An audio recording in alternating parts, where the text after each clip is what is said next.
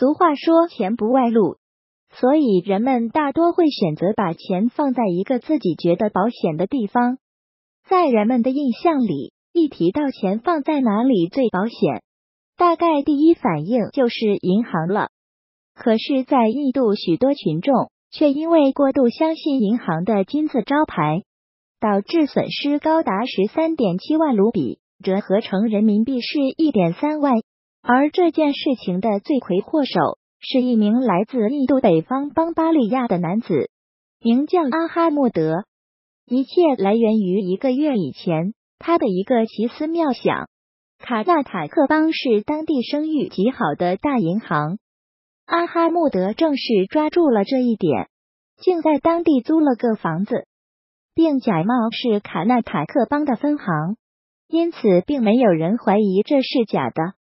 反而吸引了很多村民前来存款。不仅如此，他还准备了大量的集合及办理资料，可谓是冒名也准备的很充分了。直到一个月后，有人察觉事情不对，向位于德里支行的询问，事情才露馅。卡纳塔克邦的银行主管立即前往报案，而在警察冲进银行准备逮捕他时，竟然还有许多村民正准备将钱存进去，五名员工跑上跑下，一副业务十分繁忙的样子。据了解，这个银行所使用的房子的房租每个月也需要二点三万卢比，而且现在房主并没有收到一分钱，反而还被要求在银行记忆体入存款。